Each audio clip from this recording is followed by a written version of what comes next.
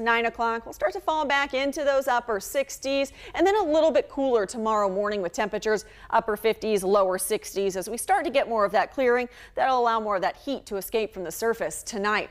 By noon, though, tomorrow it's going to be feeling fantastic. At this point, we'll already be warmer than our high temperature today. By noon tomorrow, near 80 degrees, looking at a high temperature in the mid 80s. And while we are looking at the chance for a few showers around on Tuesday, most of the day will be dry from the morning on into the early afternoon. But once we get past about 2 o'clock, I'd say some patchy to very widely scattered showers will be around on into the late afternoon, early evening hours. This is 630 tomorrow evening, and then we'll dry out again as we head into the later evening hours. Have a good gap of some dry time through the first part of the day on Wednesday before our next chance of rain and storms, and this is the one I'm focused on more, will come in Wednesday night. So anytime after 4 o'clock, we'll be watching those chances for storms on Wednesday, and some of these could be on the strong to severe side. So continue to check back with us for updates as we get a little closer to that system. High of 74 today, up to 83 tomorrow, and Wednesday up to 84. We'll keep temperatures in the low to mid 80s throughout the rest of the week. We have several chances for rain in here, but we'll have a lot of dry time